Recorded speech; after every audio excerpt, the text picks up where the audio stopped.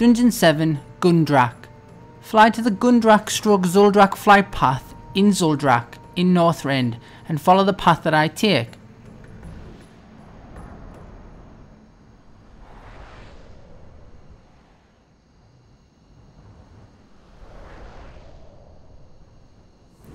You have now reached the entrance to Gundrak.